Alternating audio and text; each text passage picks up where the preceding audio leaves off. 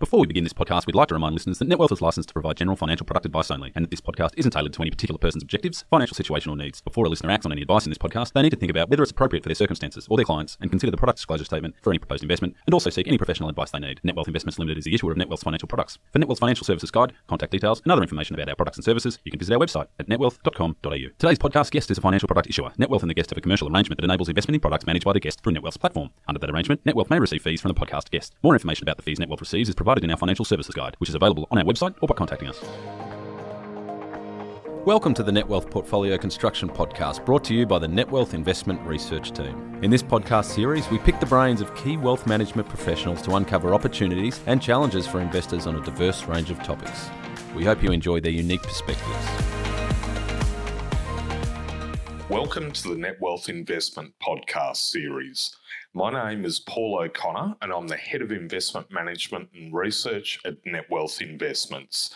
In my role at Netwealth, I manage and govern the investments that are made available to you through the, through the Netwealth investment platforms. Today, we have Roger Montgomery, the founder and Chief Investment Officer of Montgomery Investment Management. Welcome back, Roger. Great to be with you, Paul. Montgomery have a number of funds, both across Australian and international equities, available on the investment platforms. Um, so, really, I think we're fortunate to have Roger as a guest on our portfolio construction series. Um, and I think we had you on in February recently, providing insights into the market. But, gee, February feels like a long time ago, given that all that's happened over the last eight weeks given Roger's expertise um, and focus in managing Australian equities portfolios, I thought we'd focus today on the discussion on the Australian economy and market. However, starting with the global economy, Roger, what are your thoughts on the impact that COVID 19 is having on global GDP? And do you think a global recession is inevitable? Well, I think we're already in a recession, Paul. I don't think that question um, I don't think there's any doubt. Uh, you know, we know that GDP has fallen off a cliff. We know that um, productivity has disappeared. Um, we know that uh, output is gone. We know that uh, incomes are decimated. We know that jobs are decimated. So uh, we're we're in a we're in a recession. The question is, how long does it last, and uh, and how do we come out of it? Yeah, it's interesting that I'm, I'm hearing more and more discussion and debate around trying to understand the duration of the impact of the economic slowdown. Um, and I think, yeah, it's very pertinent the points you make there that I there think, is no doubt um, the global economy slowed significantly. Yeah, well, it's gone backwards. Um, so, you know, by definition, and it's gone backwards so deeply that even if in the next quarter we had, uh, you know, we had less negativity, uh, we'd still be we'd still be negative over the two quarters, uh, and so um, yeah, the question yeah the question's not whether we're in a recession. I, I, I think I think it's really important um, to understand that the economy wasn't going that well before COVID nineteen hit or before the coronavirus outbreak, uh, and and you know we had Europe uh, teetering on the brink of recession anyway. We had the US slowing according to some measures. Uh, and Australia, you might remember, we had this is before Christmas. We had a um, a retailing recession. We had uh, housing approvals falling off a cliff. Housing approvals or residential approvals were down about forty percent uh, over the year. Uh, and so we were already quite weak in Australia, in Europe, the United States, Japan, even before this hit. So when we come out of this, it's important to remember that, w- that what we emerge into uh, was not all that appealing anyway. It was still quite weak. Mm. Do you think the um, the recession then will have somewhat of a cleansing effect on the economy, i.e., some of these business models and sectors that you've had some concerns about for some time now? Um, that they may not even exist or they'll exist in a very different structure uh, going forward? Well, yeah, I, think that's right. I think you might remember when we last spoke. Um, I talked about some of the warning signs that were, it might not have been the last time we spoke, the time before that, but we talked about a bubble in private equity, for example, and uh, and I I demonstrated that there was a, a, an enormous amount of growth in the number of private equity funds uh, around the world, and that they were growing at a much faster rate than the population, and consequently, there were more deals being done, and those deals were more competitive, and so they were being done at higher prices. And then I made the point that you've got all these people being employed in all of these startup businesses that are that have their jobs purely because of the altruism of private equity investors. And as soon as you have a risk off event, and I remember saying, I don't know what is going to cause investors to go risk off and why they'll want to um, uh, take money out of the market. But if and if and when they do, that that money to support all of those jobs uh, will be pulled uh, and um, and that'll that'll you'll see large job losses, and that's exactly what's happened. And so, in the private equity space, there's a change uh, in terms of the workforces. Uh, money isn't limitless. Uh, and so, or there's a realization that money isn't limitless, and so you got a lot of lot more people on the on the dole queue uh, all around the world. Mm. Yeah, it's um, it is interesting the comments on private equity, and I guess we've also seen a changing nature of the investors and buyers of, um, of private equity over the last decade, even where it appears to be the domain of the um, the investment banks trying to restructure and and refinance companies there. So, which um, which I'm, with you has led to, I guess, some scepticism and I guess some question marks over um, over the purpose and of what they're trying to achieve. Um, moving to the Australian economy, I'm assuming then, based on the comments you've made already, you think that Australia is in a recession as we speak? Uh, look, yes, I think so. I mean, I, I, actually don't think it matters what the number is.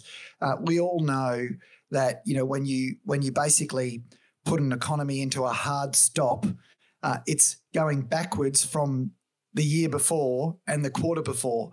Therefore, we're in a recession. Mm, mm. So, given we've had, have not had a recession since the early 1990s, what areas of our economy are particularly vulnerable that are really worrying you at the moment? Uh, look, I'm I, am i am an investor, so I'm I'm looking at any weakness as an opportunity rather than as a risk. So, as we're recording this, uh, the coronavirus uh, itself and the shock of that, uh, that's, that's yesterday's news. Uh, so the narrative now is about returning to work and governments plotting and planning ways to get the economy going again. So rather than thinking about things that I'm worried about, I'm thinking about things that uh, that I see as being um, uh, the highest leveraged opportunities or the, the opportunities with the greatest leverage to the recovery. Uh, and those happen to be the things that have done the worst, I think. You know, so travel, for example, uh, I think travel um, will bounce back uh, because people have been cooped up in their homes, unable to go on holidays, unable to visit their relatives, unable to uh, take up uh, the various uh, discounts and deals that they they took when they booked their holidays, and so there'll be enormous pent up demand uh, to go away again. And uh, one anecdote I can give you to support that thesis is uh, we're aware of uh, a, a, person who works for one of the big cruise lines. Um, they in Europe, and they sent uh, an offer out to their passengers whose cruises were cancelled they gave them two choices. They said they offered them a full cash refund immediately or a 200% credit for a future cruise. Uh, our, our intel uh, informed us, or our informant told us that, um, that there was something like a 99% uh, take up rate uh, in, the, uh, in the offer of a 200% credit. So people want to travel. That's not been killed uh, people will travel again. How long that takes before we can travel freely and and and normally again without masks and without uh, temperature checks, uh, know, I don't know the answer to that, but I do know that some of the pricing for travel companies and travel related companies um, basically assumed that there would be no revenue growth ever again. Uh, and that's just nonsense. So I guess from that comment, uh, do companies like Flight Centre or even Virgin have any um, any interest? Well, yes, they do have interest, but you've got to just look at their balance sheets and their cash burn. Uh, and what you've got to realize is that you're an equity holder. So assets minus liabilities equals equity. And if you don't participate in a, a future capital raising, uh, then you could be diluted. And so the share price for you might not recover to, you know, to the levels the shares had previously been at. Um, and so it's it's important to understand that while these the companies that you mentioned, Flight Centre and Virgin, are interesting, uh, we've got to look at the balance sheet and number one, ask the question: Will these businesses survive? That's the first thing. And then if they are going to survive, you know, how much capital do they need to do it? Then they've they've raised. So in the case of Flight Centre, they've raised money, um, about seven hundred million dollars. But what form do they take once they've raised that money? Uh, so in the case of Flight Centre, they've closed fifty percent of their stores, or eight, they're closing eight hundred stores. So their ability to generate the level of revenue that they generated before is obviously uh, changed. So it's a smaller business now, growing off a lower base. Uh, so that's the first thing to consider. And then if you think about the impact of the capital raising, so when you raise money at a deeply discounted price, you can dilute the equity per share on a per share basis. And then if you use that money to pay off debt, for example, which is important in this environment, um, then the return on equity from the capital or the return on the equity that you raise, if you only use it to pay down debt, is the interest rate on the debt that you've paid off. And so you dilute your return on equity as well. So a business that might have had $10 of equity per share earning 20% might now only have $5 of equity per share earning 10%. And so its intrinsic value is a lot lower now than it was before.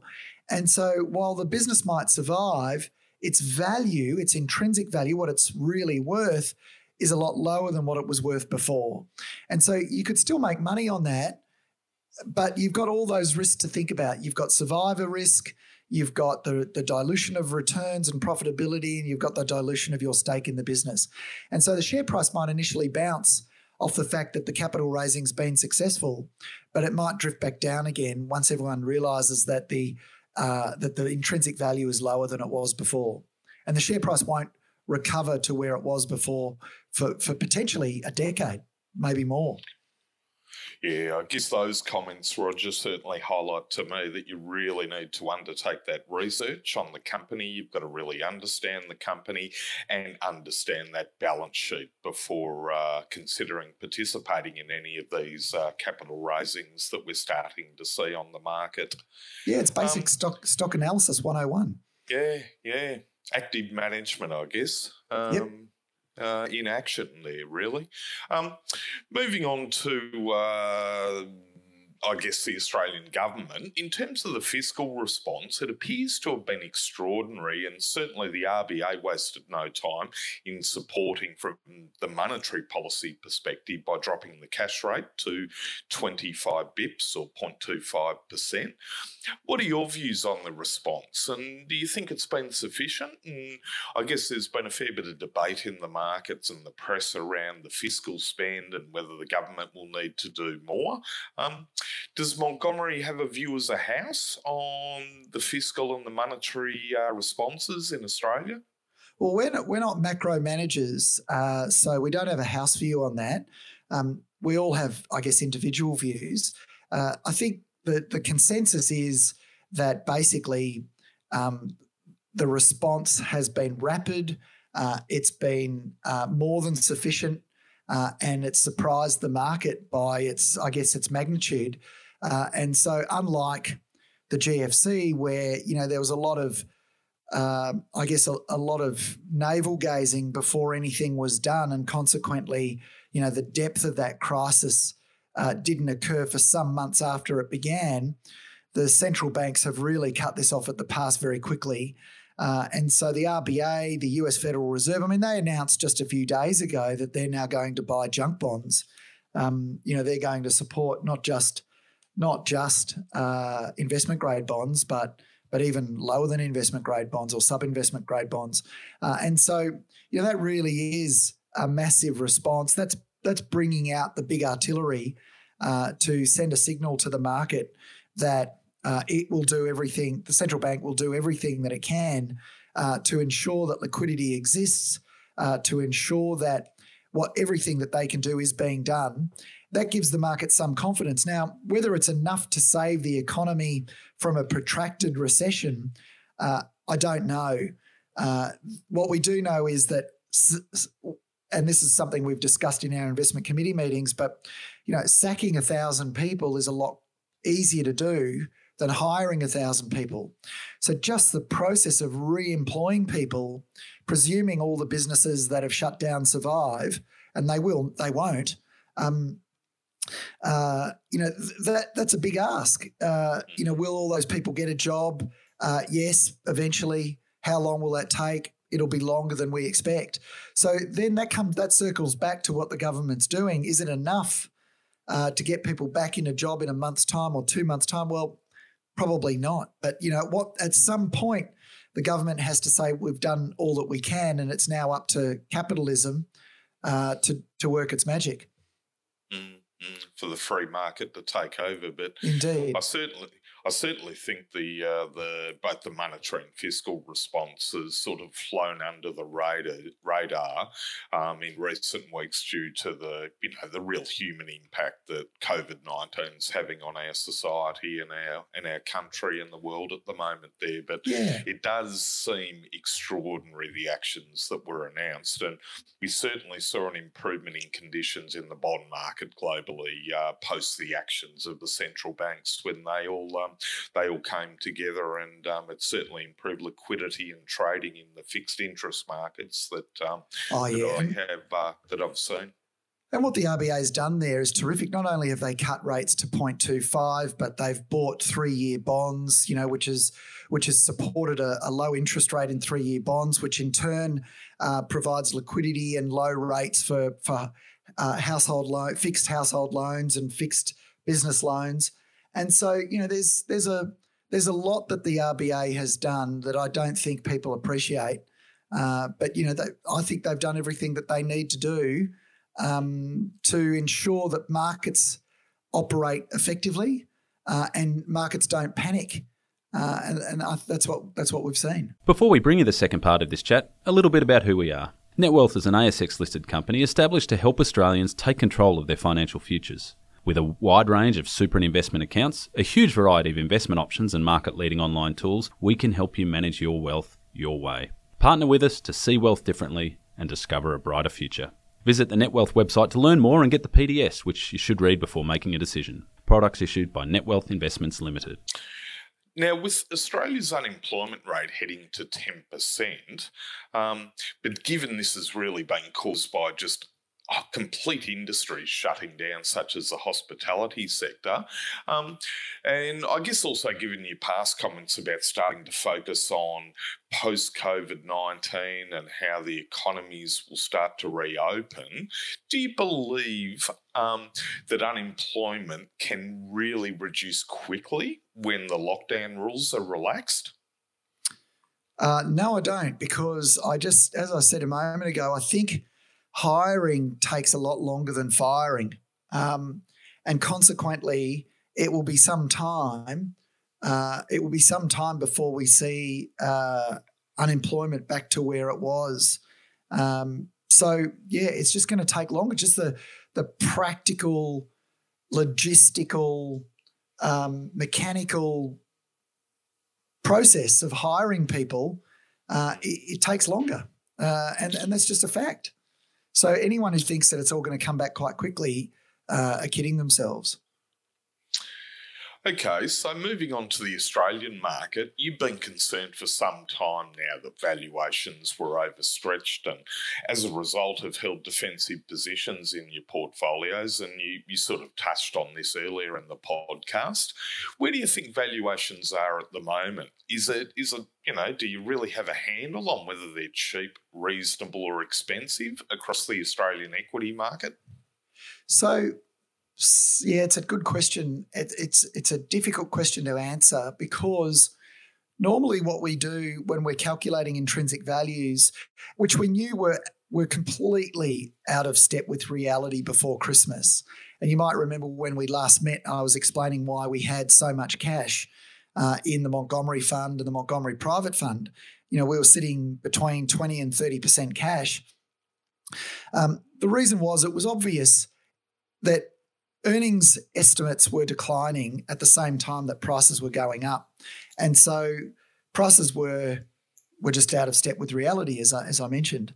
Uh, but now it's not so easy to work out whether they're cheap or expensive because the earnings has vaporized. So we don't know what the earnings are going to be.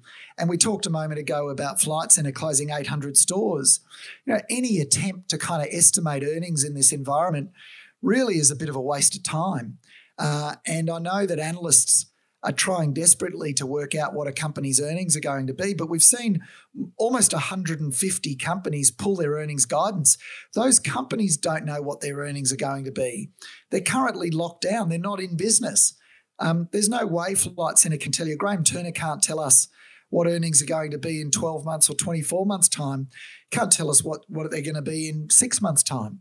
So you know, we just assume that revenue is zero and uh, earnings are torched for the next 12 months.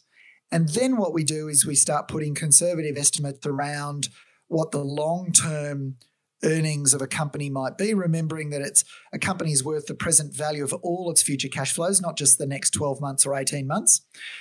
And so that's even that is going to be really, really rough when we do all of that, we get to a point where we think the market is maybe fair value to a little bit expensive uh, because we think that the market is being overly optimistic about how quickly we come out of this. Um, it's right to be optimistic that there'll be an end to the lockdowns. It's wrong to be optimistic that the you know that we go from uh, we're really push starting the economy again, and that we go from a stalled economy to something uh, that's reasonable or acceptable in a short space of time. I think that's optimistic. Where we'll get to is that in you know 12 months time or in 18 months time, we've still got a sputtering economy. We've got massive deleveraging to occur. There's lots of lots of government debt, uh, and so you know that's going to take some time to work its way through. Uh, and that means that we'll end up in a market pool that won't look anything like the market that we saw before. So that you know that 10 years of northeasterly markets with you know with no negative years mm. that's not going to happen again we're going to return yeah, to a great decade yeah we're going to return to normal markets what i call normal markets the the markets i I learnt to invest in when I came out of university in the 1990s. You know, that's you get a positive year, you get a negative year, you get a positive year, you get a negative year, and and uh, we don't know what the order, what order they'll take, but it'll be more cyclical than unidirectional. Mm-hmm. So, what sectors are really concerning you the most? Um, and is it the more defensives that you're holding at the moment in the portfolio, or is it some of the more uh, growth stocks that have really been beaten up in value? Um, yeah, where, are your analysts really focusing their time? So we we um, again not concerned about sectors, but you know looking for opportunities. We what we did before the crisis emerged or before the outbreak emerged um, or became serious. It had already emerged because I just as an aside, I came back from an overseas trip in late January, and my family and I were all wearing face masks at the airport in Tokyo and also uh, at the airport in Sydney and on the plane. And um, so coronavirus was an issue then. So when we when we got back to Sydney, touched uh, touched land again, and went into the office, uh, we gathered our research together. We were tracking testing rates around the world, we could see that it was going to get a lot worse. So we we we increased our cash weighting quite considerably. And then what we also did, and this answers your question, what we also did is we moved the portfolio to a low lower beta portfolio. So we we moved into more what are regarded as high quality defensive. I shouldn't say high quality because all of our holdings are high quality, but bigger cap, high quality defensive companies with a lower beta. So we we held more cash and we reduced the volatility of the equity in part of the portfolio. Now what we're doing is we're thinking about what other sectors and companies that might be best most leveraged to a recovery. Uh, and some of those things are, for example, uh, some of the some of the roads. So Transurban, um, uh, for example, Atlas Arteria, which owns a big stake in about 2,800 kilometres of French toll roads. Uh, you know that will France is France is shut down at the moment, completely shut down. There aren't many cars driving around uh, and uh, that's going to return. Um, and logistics will be an important part of the recovery story. Uh, and so we're going to see a lot more road transport. We're going to see a lot more people traveling domestically because probably international travel will slow for a while or stay shut down for longer. Uh, and so, you know, that's an example of where we're trying to make investments now without necessarily reducing our cash very much. We are reducing cash, but also increasing the beta or the the the, the riskiness of the portfolio. And riskiness, I don't mean we want to make risky investments. We just want to increase the exposure to the recovery. So you have actually reduced your cash uh, holding just, over the last just slightly. weeks? Uh, no, not over the last eight weeks. Probably over the last three. Um, Yep. Yeah, so over the last three weeks, uh, we've reduced the cash slightly, uh, but we're also increasing the beta of our invested portfolio. So pulling out of things that have held up really well. So reducing, for example, Telstra, which has held up really well, relatively speaking.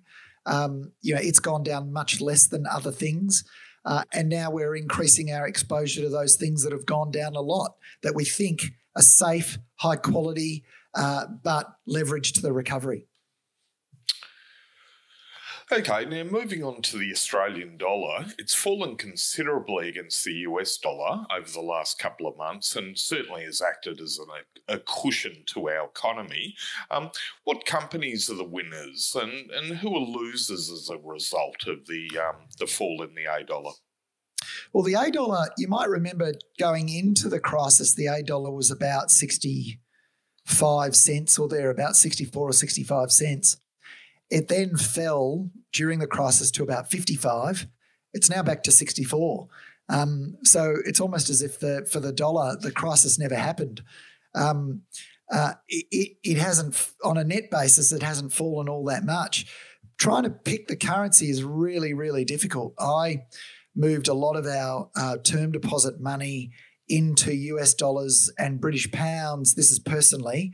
Um, ahead of ahead of the crisis, uh, and I that was at about sixty four cents.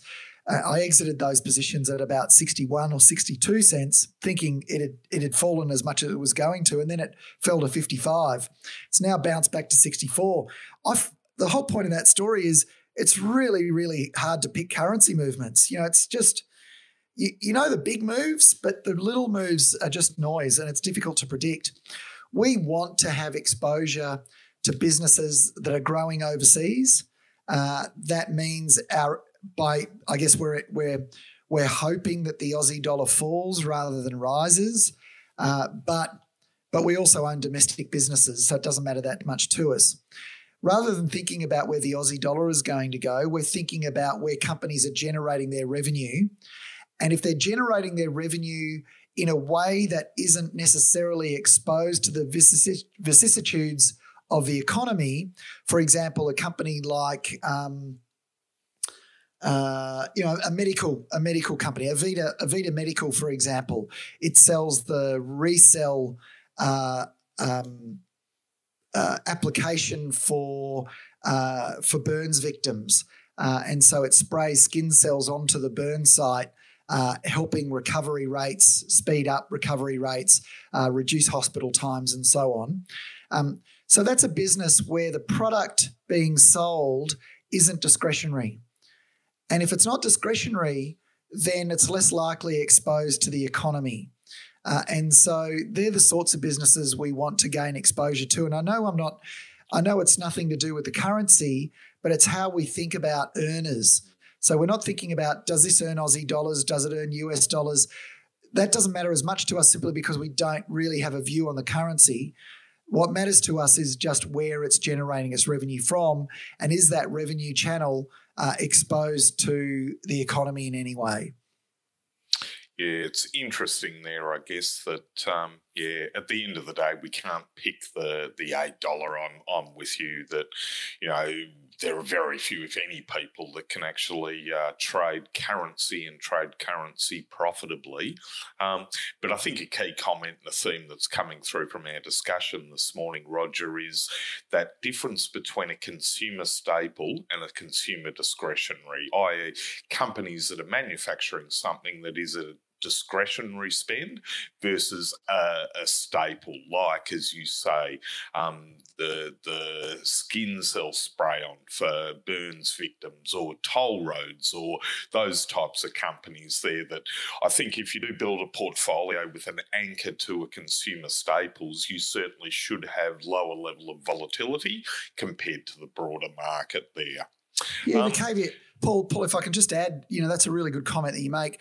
People immediately turn, you know, when they think about consumer staples, they think about the supermarkets, for example. And just one caveat with the supermarkets, if anyone's thinking about that, is that we believe that they've really performed their role in a portfolio now. So Coles and Woolies, you know, they held up really well. Uh, of course, because people were were hoarding toilet paper amongst other things. But but you've got to remember now what that's done is it's front loaded. It's brought forward a lot of earnings for the um, for the uh, supermarkets. So people have, if if people's houses are now stacked to the rafters with toilet paper, they're not going to need to buy that product from the supermarket uh, for some months, and you won't be able to return it either. So um, so it means that the, the that revenue source has been front loaded or brought forward. Uh, so just rem, rem, remind yourself of that uh, if you think that supermarkets are going to continue doing as well as they've done in the recent past. Yeah, they certainly appeared for mine that it's a, a temporary earnings spike um, that will certainly normalise. I think in line with um, with society uh, getting back to whatever the new normal will be post COVID nineteen. Indeed. Um, we normally finish with asking our guests for any tips on uh, investing, but I thought, particularly at the moment, have you got any thoughts or comments for the listener in terms of navigating the current uh, financial crisis we're experiencing?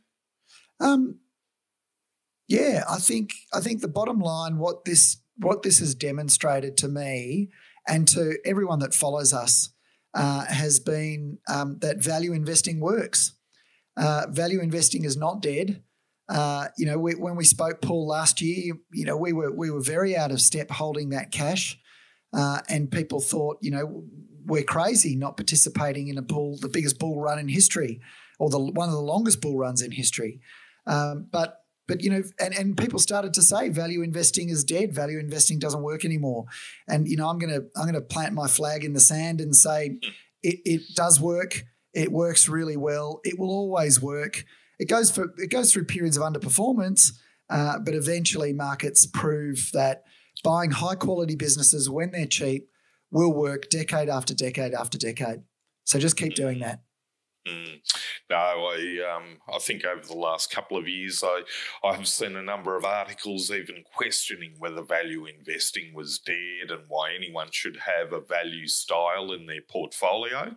Um, mm. And I remember chuckling because as a younger guy starting in this industry in the early 1990s, I remember a similar debate around growth investing as well. And I think at the end of the day, both of them have a role to play in a client's portfolio, but I think particularly you should get, I guess, uh, a lower level of volatility out of a value style investment strategy as opposed to a growth style.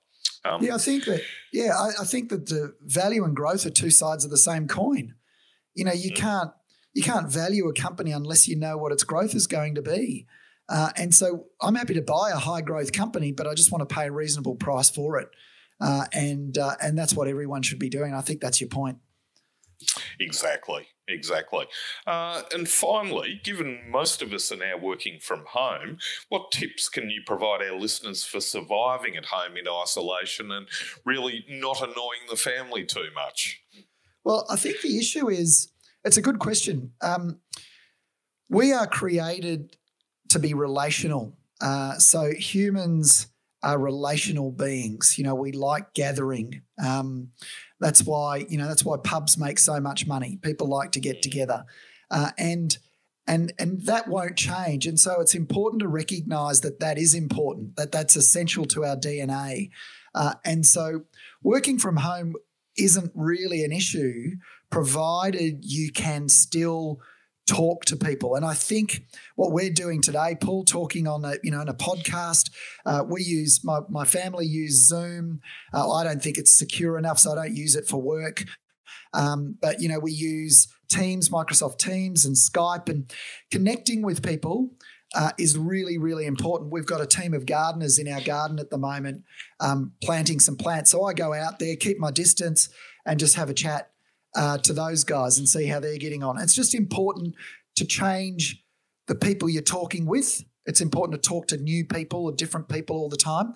And it's important to get outside, go for a walk, and you won't bump into people literally, but as you walk past, you know, say good day and and and uh, yeah, have something to say up your sleeve because that breaks the monotony of working from home yeah, I must admit, getting the dogs out for a walk of a day, I have, um, I've been amazed at how much more social everyone is out on the uh, out on the daily yeah. walk. So, Paul, I reckon if we could understand dogs and we could understand what they were saying, if we could convert them to, to convert their language to English, they'd be saying, "Please don't take me for another walk today." oh, correct. I think uh, dogs actually are one of the um, the receiving one of the positive outcomes of uh, yes. coronavirus and our working from home. So it's a lot fitter, fitter dogs. Exactly, exactly. Roger, thank you very much for joining us today and providing Always a insights. Pleasure, Paul. Great to be with you. Um, thanking you and uh, thanking Montgomery for uh, for the support and the, the products you've got available on the platform. To the listener, I hope you guys are all safe and well. Um, and thank you for joining us for today's Portfolio Construction podcast. And I look forward to joining you soon. Thank you. Thanks for listening to this episode of the NetWealth Portfolio Construction podcast series. For more episodes and to subscribe to our series, visit our website www.netwealth.com.au or visit the iTunes Store or Spotify. We hope you can tune into our next episode.